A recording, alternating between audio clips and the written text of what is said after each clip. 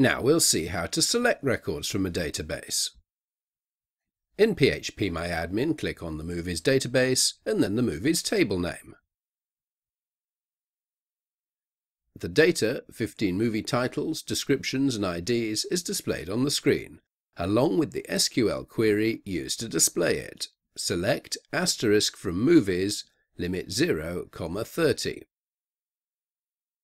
The asterisk has a special meaning in SQL. It means all fields. So this query means select all fields from the table called movies. We haven't specified the database because we're already in it, with a limit on how many records are going to be returned from the first record, numbered 0, to the record numbered 30. And as there are less than 30 records in the table, the limit has no effect. That's nice, but the records are displayed in movie ID order, which is not of much relevance to us. It would be nicer if we could choose to sort them into alphabetical order by title. Copy the query, leaving off the limit clause. And add order by title to the end of the query. So it reads select asterisk from movies order by title. Remember the backticks are optional.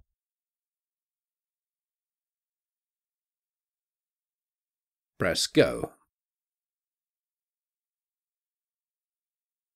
And the results will be ordered alphabetically by last name. Although we'd probably usually want results ordered from A to Z rather than Z to A, there are times when we want to sort in reverse order. For instance, if the data is numeric, we might want the largest number first in a list. It's easy to do this. Just add DESC for descending to the end of the order by clause. We may not always want to display all the fields in a table. For instance, the ID number is interesting to the database system, but it's not of much use to us as humans. Change the SQL query to select title from movies, and only the title field will be displayed. We can also include more than one field in our select query by separating them with commas. For instance, select first name, comma, last name from moviegoers, and remember again that there's no comma after the last field name in the list. So far we've displayed all the records in a table, which isn't normally what we want to do. So now we'll modify the select query to search for given patterns.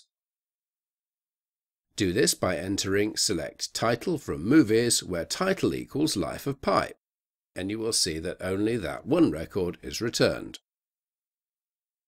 That's matching the whole of the title field with equals. For our project we won't need to do this, but if we wanted to search for a partial match, we do this using like instead of equals, and using percent marks as a wildcard to match any number of any character. For instance, select asterisk from movies where title like, life and then the percent mark with the wildcard at the end of the search string will match any title beginning with life.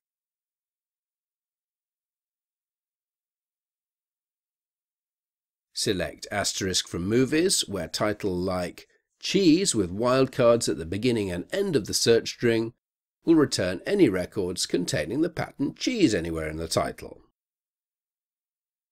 You can see straight away that MySQL is rather user-friendly in its terminology. It's not a cryptic computing language at all. It's rather like ordinary English, with these keywords that we've been learning, create, insert into, select from, where and like, so it's really quite an easy language to learn.